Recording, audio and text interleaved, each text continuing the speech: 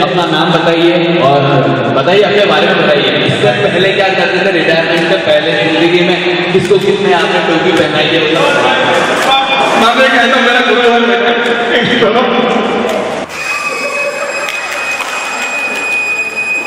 तो यहाँ